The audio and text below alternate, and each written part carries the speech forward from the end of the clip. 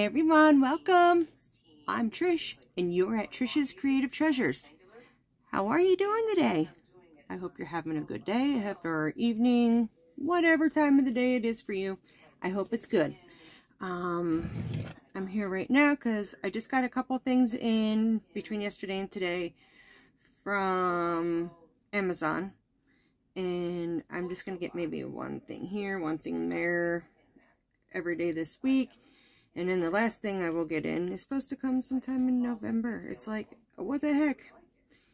And I don't understand. I guess it's the seller. Has to be.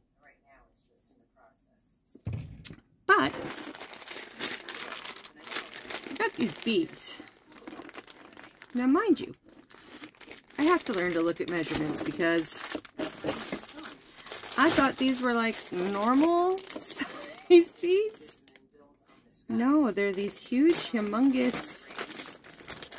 I mean, it's really cute. It's pink and black set, but I mean, this isn't all of them. These are just, but look how big these beads are. I mean, they're like half the size of a cake pop. But they're pretty. But I do know there are some people that like to wear like big beaded bracelets, so maybe that's what I'll do with these because they're not going to work for the idea that I had in my head was to make some um breast cancer awareness. That's it, breast cancer awareness things with it. Um, these came in yesterday.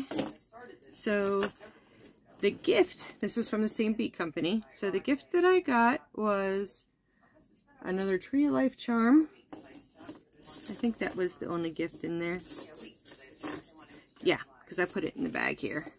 And then I got a bunch of rosinite, or however the heck you say it, but it's it's a real pretty, sometimes a black speckles gemstone. Resin. I'm not even going to try it. I'm just going to butcher it. But came in this pretty little pouch. The other thing I got, I'll just leave it in the package, is I forget what gemstone this is, but it is a gemstone. I will have to look it up because I can't remember. And these are just, they came in this cute little extra patch in some bubble wrap. And these are just different kinds of silver beads. So those are really pretty. And then I was excited when I got this. I wanted to see if it was like the other one or not. let's check this out. This is a divot shelf hook. And this one is a 5 millimeter. So uh, that looks, this, the head on this looks a lot better than the one yesterday that I got but I don't know if you can see. This is their coffee one. It is so pretty. And it's it's a little bit more of a thicker hold. Like the wooden one yesterday just felt like kind of thin. But, I mean, I'm so used to work with a big bubble with pearls that this feels thin. But it's not like it's a straight up aluminum one that kills my hands. So, yeah. It comes with the... I don't see if you can see it 5 millimeter H. It's imprinted in there. So, yes, I mean, the wooden one is a... Now, I did crochet with that yesterday just to try it out. I can crochet with it, but I just really have to work with this piece here because it's so deep within it. But this is just a few little things that I got from Amazon yesterday and today.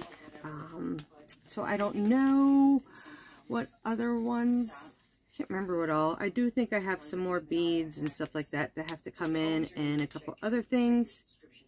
I know I have two more, I think it's one more divot shelf hook and an Omi, Omi, O-M-M-I, the ones that Crystal, I mean, not Crystal, Jennifer at Cinnamon Stitches, I want to say Crystal back a day, but I don't, I haven't noticed that she did a thing on these. I mean, I might have missed it.